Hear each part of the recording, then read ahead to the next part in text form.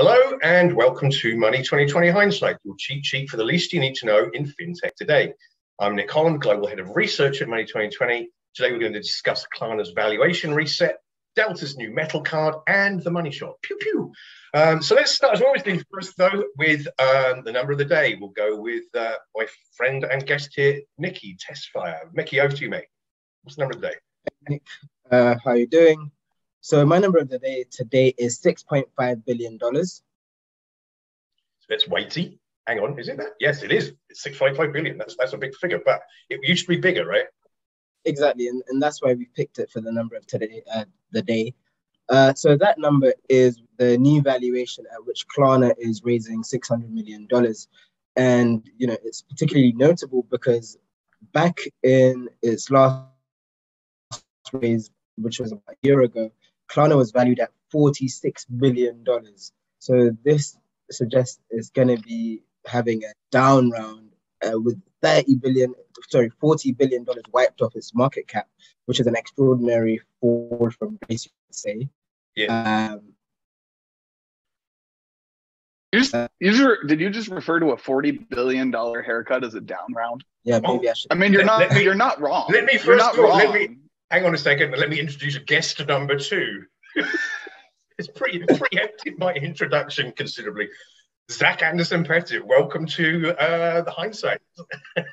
Thank you, Nicholas. Thank you. Thank you, Micky. But, Thank you for having me as well. I was going to introduce you, but I, I, know you're very feisty and hot, hot to trot. No, uh, apologies for interrupting. I was keeping it together as much as I could, but forty Mate, billion dollars. They just accidentally added forty billion to the valuation. So you know, here, here we are. Here we are. Anyway, this, that, that's where we're at. I think this is a general reset going on overall. We're to the sort of the sanity check post the last couple of years. So you know, it, it seems like a much more realistic valuation to me. I mean, Micky, what do you think? Yeah, I mean, I think first of all, thank you, Zach, for calling me out that. You are right. I mean, technically, I was it was it is a down round, but yeah, it's maybe not. It's, it's more like a free fall rather than a down round. And yeah, I think Nick, you're you're absolutely right. Uh, I think it's. I mean, I think there are a couple of factors at play here. I do think BNPL is getting hit because the business model is particularly open to challenges we see right now to do with interest rates. Yeah. But also there is the big, you know, elephant in the room, which is around valuations. And definitely, I think this reset in valuations is uh, probably justified, to be honest with you. Excellent. Uh, Zach, any final comments for you before we move on to the next segment? No, I just I think it's going to be really interesting to watch it develop. And I, as much as we joke about it, I think this is like the moment to actually have a heart and be paying attention to what's going on in the market and you know, if you have friends at Klarna, like try and help them land at a good place. If you have yeah, friends at Coinbase, try and, you know. Yeah, we're seeing a lot of that out there actually, which I yeah. think is, is good that the, the, fintech community is helping each other out. You know, it, it's clearly, uh, you know, there's been a lot of layoffs recently and hopefully those people find new homes quickly. So, um, yeah, it's, it's, it's sad that that's happened. But again, this yeah. was inevitable given how overheated things have been.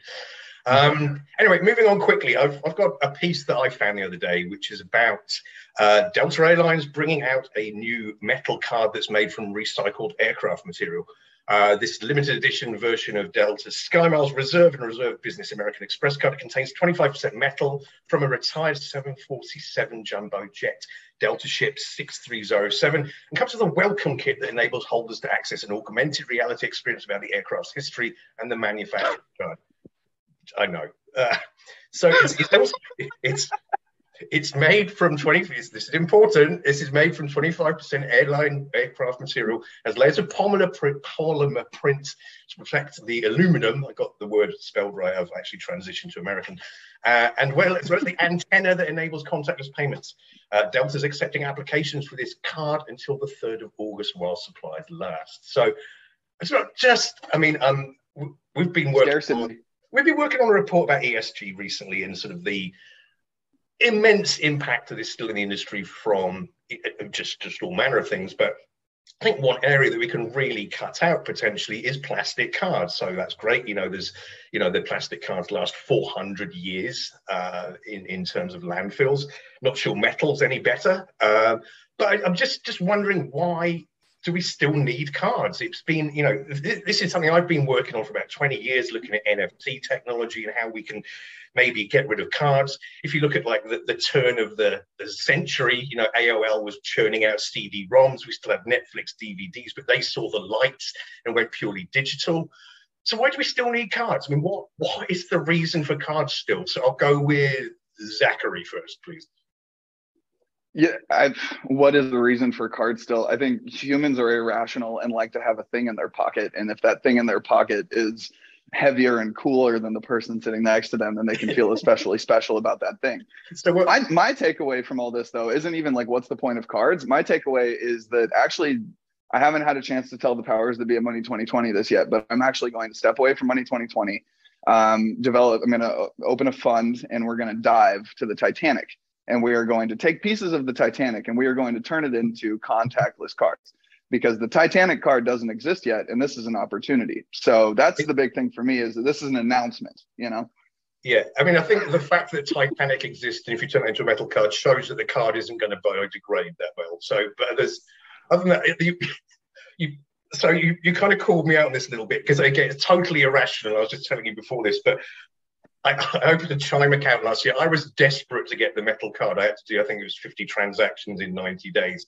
And I don't know why. I just no reason. I just wanted a metal card, which has there's no reason to it. It's heavier, you know. It's, it's something more that fills up my wallet, takes up more wallet space, makes a nice clunky sound when I drop it. I don't know why I wanted one, but again, I think whoever's in card marketing really understands um, the mindset of the, the you know American slash English consumer and is, is you know prepared to put these things in the market. I think there's there's still clearly that angle for that little real estate within a wallet where where cards and card issuers can still uh, you know control the branding. It's not like an app in a phone or whatever. Micky, over to you. Yeah, yeah. I, I think both of you make a good point, but I do have to kind of I do see a flip side to this, right? And I think one of the, the points you made with AOL and Netflix is that those services didn't have to be they did, everyone didn't need them, right? But financial services, everybody does need them. So it's really important that you know people aren't left behind, right? So that's one big thing.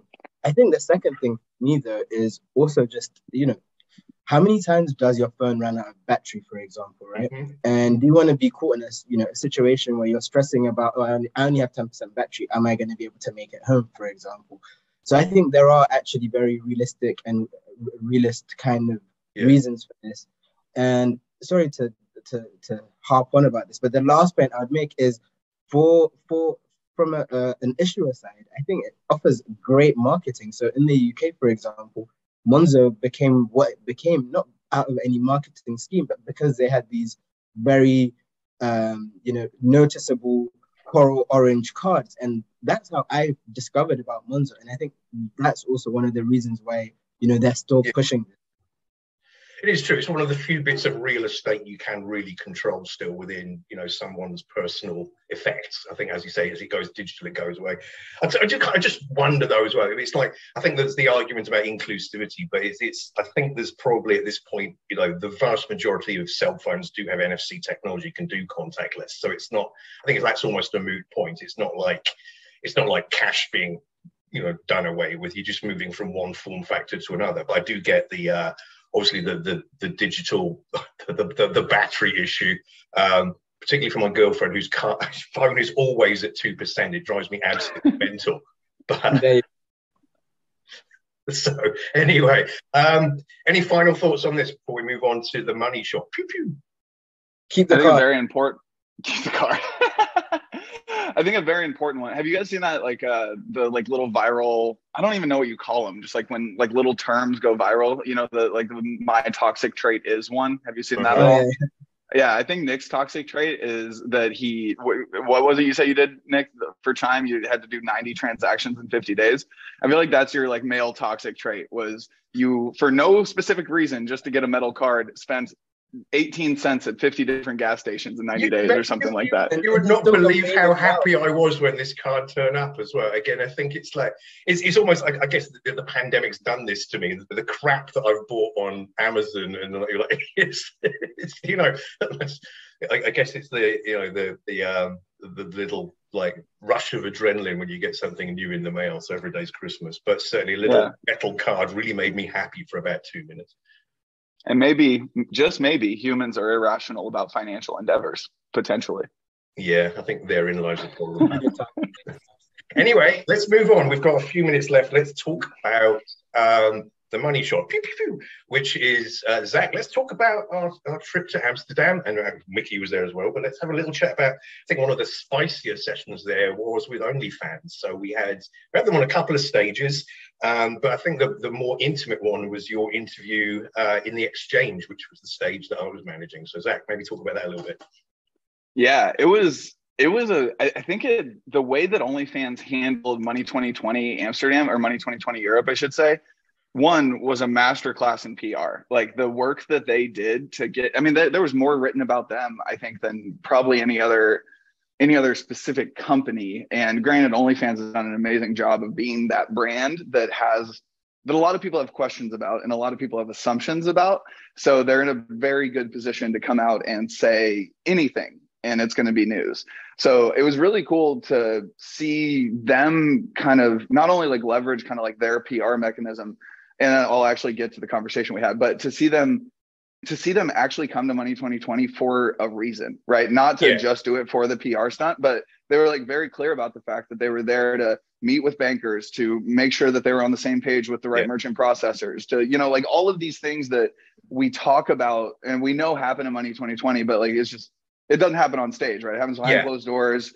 But these, it's so important that that should happen. So it was really cool to get Lee, uh, Lee, the CFO of OnlyFans, was who I interviewed uh, on the exchange, and like the interview on the exchange was really cool and at a quite an experience and I learned a lot but it was even more interesting to get his like behind the scenes behind the scenes perspective yeah. while we were like it, and because the exchange is like the for those listening it's the yeah. off the record stage that we did in Amsterdam so you had to like go through this whole thing and like had to put your phone in a Yondr pouch and you weren't allowed to you know share until you got out. and, and i'll mention uh, as well is is the, actually the only session where i had to actually play bouncer and throw some journalists out. So it was you know it uh, people wanted to be in this session but it, was it was very exclusive little off the record actually very off the record. That was how it was designed but uh yeah they, they, yeah so it was we were in the green room we were in the like most off the record place I think in Amsterdam, which is the green room of the off the of the exchange.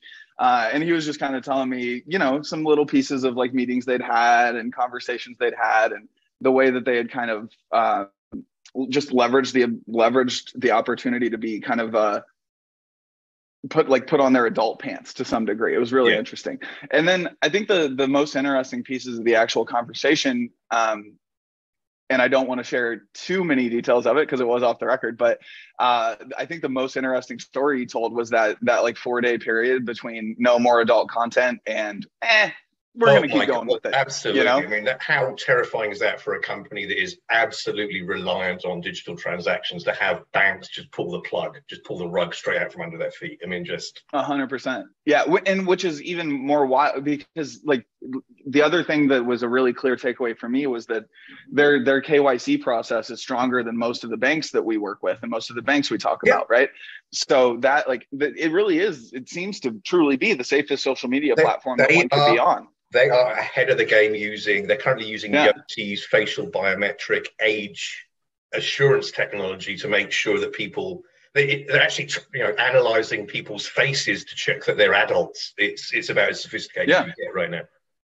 Very yeah, and cool. like actually have to prove that you're, you know, I mean, I think there's probably a way that you could deep fake that, right? But the fact that you have to well, prove that you have a social media, like all, absolutely. I mean, there's there's ways to get around anything, but it's it's yeah. how much friction you have to get through exactly. to get to the end point. So I think they they certainly have, have gated enough to make it, you know, prohibitive for amateurs. I'd say.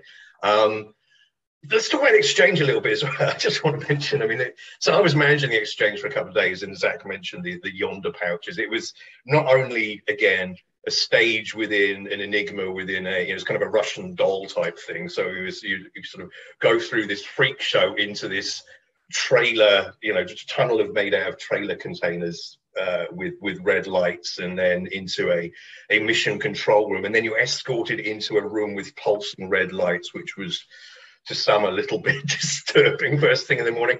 So there's a lot of cognitive dissonance going on. It's a real experience. And then you get in there and you're told, right, okay, so um, you've got to put your phone away for 25 minutes. And there's a sort of sociological experiment. Getting people to put their phone away for 25 minutes and not touch it was just staggeringly difficult in some respects. You know, people, we found the Yondr pouches of people have physically ripped open because they couldn't handle it, or they had to walk out of the room. And, you know, some were visibly sort of twitchy. It was like, you know, they, they're not Yeah. coffee or anything. It was bizarre, but also, you know, uh, they started to get it towards the end. But it did, I mean, it did make for a very candid dialogue, but it was definitely um, just, I mean, seeing actual addiction to electronics was it was a little bit disturbing in, in sort of real time. Uh, You know, any thoughts on that?